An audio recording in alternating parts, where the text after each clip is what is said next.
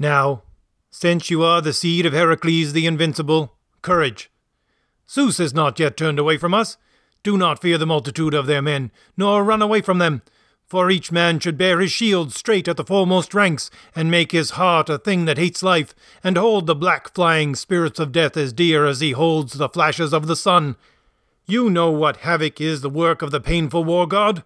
You have learned well how things go in exhausting war, for you have been with those who ran and with the pursuers.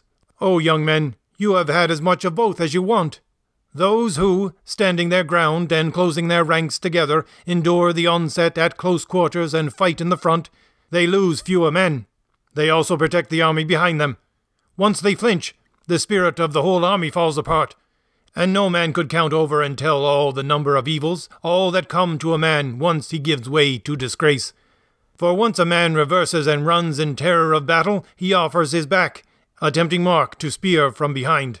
And it is a shameful sight when a dead man lies there in the dust, driven through from behind by the stroke of an enemy's spear.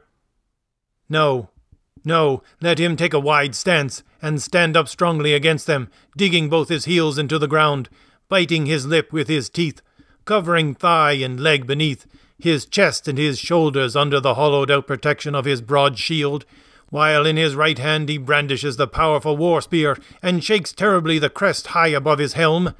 Our men should be disciplined in the work of the heavy fighter, and not stand out from the missiles when he carries the shield, but go right up and fight at close quarters and, with his long spear or short sword, thrust home and strike his enemy down. Let him fight toe to toe, and shield against shield, hard driven, crest against crest, and helmet on helmet, crest against crest. Let him close hard, and fight it out with his opposite foe, holding tight the hilt of his sword or his long spear. And you, O light armored fighters, from shield to shield of your fellows dodge for protection and keep steadily throwing great stones, and keep on pelting the enemy with your javelins. Only remember always to stand near your own heavy armored men.